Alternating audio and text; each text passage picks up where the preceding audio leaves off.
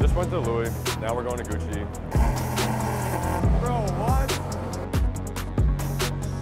What's going on, you guys? Welcome to today's video. Today, we're actually at the mall. Yeah, you guys wanted to see a day in the life, so here we are in the King of Prussia Mall in Philadelphia, or a little outside of Philadelphia. I'm looking to go pick up some stuff at the Louis V store, so I'm gonna bring you guys along. Later on, we're actually gonna be going to a supercar dealer. I'm not gonna tell you where we're going, just know it's a fire spot, so let's go ahead to the store. Louis V store, about to pick up, hopefully, a jacket. I wear the same jackets all the time, so I'm looking to get something better. looks like there's no line, so we're gonna go check it out and see what's good. Sounds good, thank you.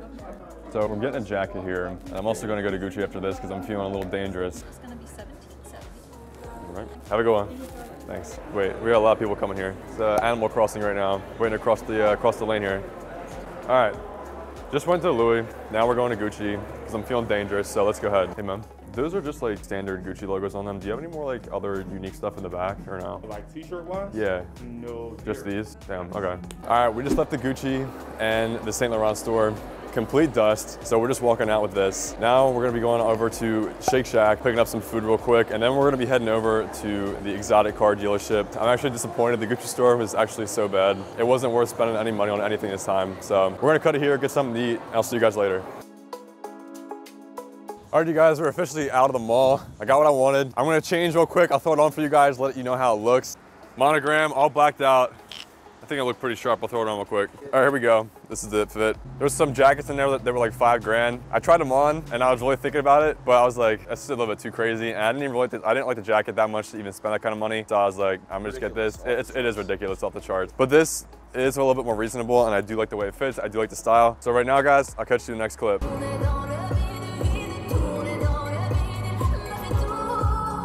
We're about to pull up to McLaren dealer. All right, you guys, all jokes aside, I wanted to put that song because I thought it would be, I thought it would be funny.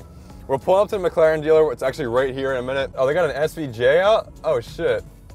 They got all the goods, all the goods for us. Yeah, all the goods. They got an Aston Martin there. Rest in peace, Aston Martin. If you guys didn't know, the 720S is one of my favorite supercars. It's probably gonna be my next supercar if I'm being honest with you. And of course, we are at McLaren Philadelphia, if you couldn't tell. I just love the 720S. Like, I know, I love the color.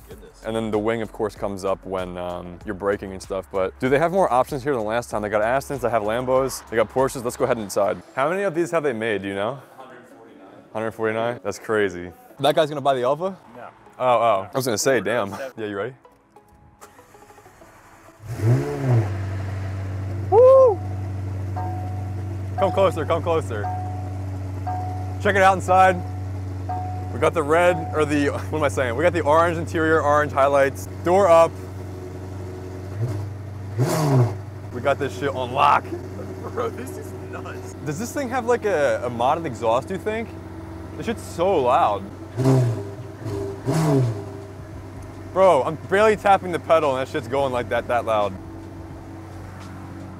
Oh, you guys can hear me. I got the camera out there, but y'all can hear me inside of here. Just listen to the engine in idle. We got Boston on? Bow, bow, bow, bow, bow, bow. What? Yeah? It's fucking crazy.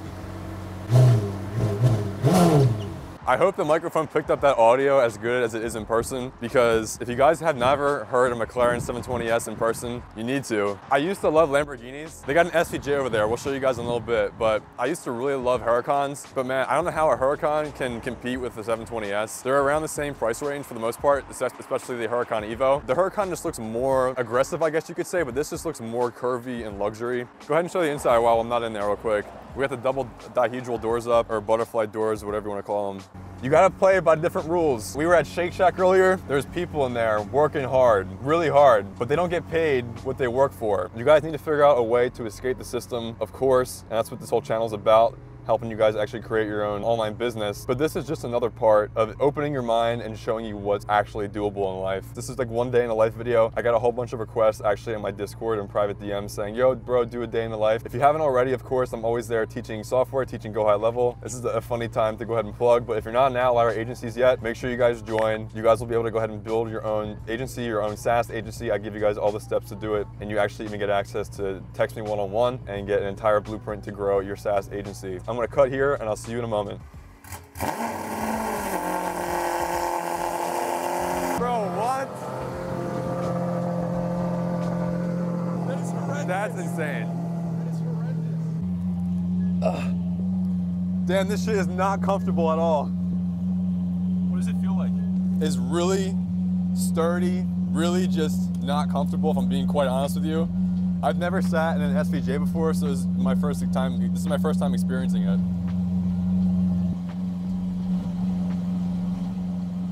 This is insane. It's hugging me. It's ridiculous. They're so it's not very comfortable at all. Not at all. Give it a, give it a baby rev. Yeah? Baby one. Alright. What? Dude, uh, I don't even want to go to like 5,000 RPMs. That'd be screaming. This is uh, some Spotlight Spider. Oh my gosh. Yeah. It's like, it's not really the best build. It's like blue with like yellow on it. That's actually a, a, it's a weird spec. You like that? I like that. It's cool. Yeah. On the wheels, it's all the way through. Mhm. He wanted to do like a yellow livery along the side, but ended up scrapping it. But yeah, it looks awesome. I mean, the LT Spider, I mean, it's just absolutely prime car. So, so good. This airs perfectly on on a performance side with the luxury feel. You know, the fit and finish is perfect. The seats are, you know, you get like these nice carbon fiber bucket seats. what do you have to say about this car? The SVJ? Bro, the SVJ. I think it speaks for itself. You guys saw the inside of that. SVJ is a limited edition type of event of a uh, Aventador. Only a certain amount of them have been made. I don't know the exact number, but I do know that they're a collectible car, so they do hold their value more than most other Lamborghinis or other supercars. Especially this color, really, really dope. Really bright if you want to be to be loud. I like bright colors. I love bright cars, and this was this is definitely up my alley, but definitely not more uh, of a practical kind of car to drive. If you guys don't know, Fresh Prince CEO, one of the guys I talked to in my network, he actually has an SVJ. His is red though. I'll throw a picture on the screen for you guys to see. His is actually a drop top. I know it's cold, right? All right, we're back. This is a realistic day in the life, right? So it's not all about going out and driving supercars. So here, I'm actually at my boy's house. This is his setup. I think it's a really cool, colorful setup here. Got my own laptop, get some work done, get back to you guys on Discord within Outlier Agencies. And now we're about to get something to eat.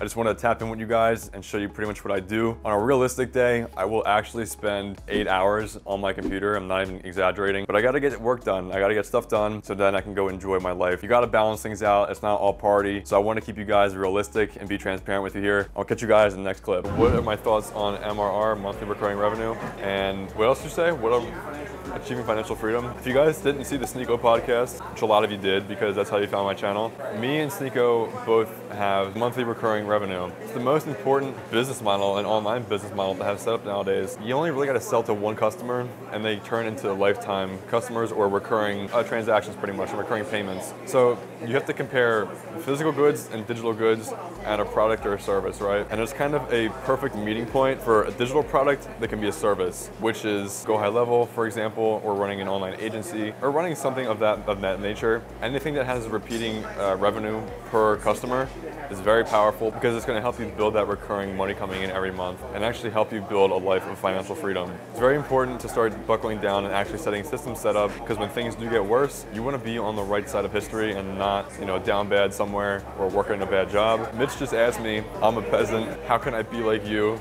I've never seen a supercar work at McDonald's. The most important part and the most important way to separate yourself and start leveling up is to actually equip yourself with the correct knowledge to make this possible. That's where I sound like Tai Lopez, the knowledge thing with the Lamborghini in the back. But like, it's a meme, but it's also kind of facts that you have to have certain information that most people don't have. And then once you get the information, you need to actually take action on it. Half of it is having the knowledge, and the other half is actually being proactive and taking action. I have another friend of mine who knows a whole bunch of stuff about crypto, knows a whole bunch of stuff about economical stuff. He doesn't do anything with the information. He literally just sits on it. He works a regular job, and I don't know why he just doesn't apply himself to be better. And maybe he's just comfortable in the situation he's in. But I don't want that. I really don't want that to be you guys. I really want you to be able to absorb the information that you see online from me and other creators that talk about business stuff as well as self-improvement stuff, and actually apply it to your real life. Now, over the last you know year, year and a half, I've really been able to double down on the information I've learned, and then also apply it in my own life.